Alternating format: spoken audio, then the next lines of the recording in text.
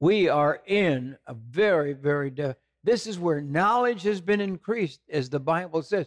We're in the last day. And I've tried to tell you these last few days about some of the things that are happening that you've never seen before. We've never heard about them hardly before. And this tells us that Jesus is coming soon, and we're in the perilous times the Bible talks about. And we believe that the church, when they're warned, the Bible says a wise man, you know, prepares when he sees a, a warning and, and, and, and, you know, does things to prepare. Yes.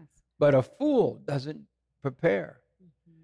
Mm-hmm. Let's go again, Darren Parker's here with us, our head of security. Give us the next one thing that is important to be prepared. You told us you started out. Yeah, so we, yeah, I gave you the the list. Um, air, of course, you got to be able to breathe air. Shelter, you have to have shelter. So let's talk about water. So when you're when you go to prep, uh, you want to make sure you have the amount of water you're going to need to be able to survive. Now you want to think about what is your goal? What's your objective? How far out do you want to go? Now, when the government says you need to prepare for three days, I'd start thinking about three weeks. Yes. Because if they're saying three days, you're going to need three weeks. Yeah. Yeah. So whatever you come to, though, you you have to make that decision. If we have an EMP, it's you need oh, to be longer than that. Sure. For yeah. Three years. Yeah, but when it comes to getting yourself ready, it can be overwhelming. Yeah. If you start thinking like that, you want to get there eventually. Yeah. Uh, but you want to again, you want to stay stay grounded in, in reality. So Yeah. so work on getting enough preps to get you through three days. So water, how how much water do you need? Yeah, how much? does- so for each person, you need a gallon of water at a minimum, a gallon of water a day Mm-hmm. to make it. So if you have two people in your household, you're going to need two gallons a day. So if you're Mhm. prepping for three days, Okay, what about your toilet? You, your, your toilet won't flush without water. And sure.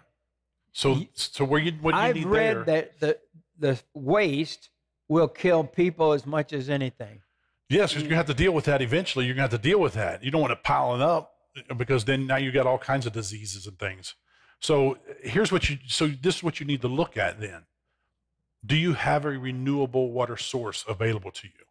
And when I say renewable water, do you have a creek running by the house, a, a river, a lake, a pond, a, a, a swimming pool, anything like that? Do you have way to get to water?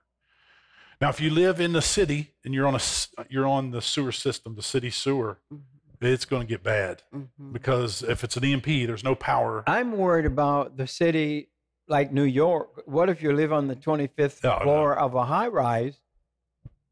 Oh. What are you going to do? You you don't have a hand pump. You you won't live very long. You're in big trouble. No, you better have plans to get out of that place. Yeah. Get out of Dodge, Yeah, right? yes. If you're in a big city, you you want to you want plans to get out of there Yes. Because that's So- going to be bad quick. How long can you live without water? Three days. Three days. So you you want to make sure you have. Okay, so this is what I tell people too.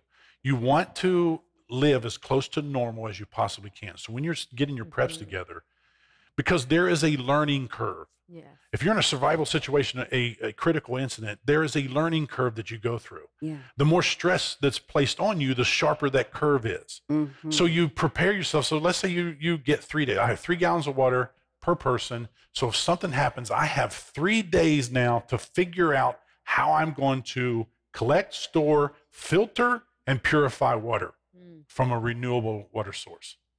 All right. It gives me three days to figure that out. But you have to have a renewable water source. Now, you go back to the toilet situation.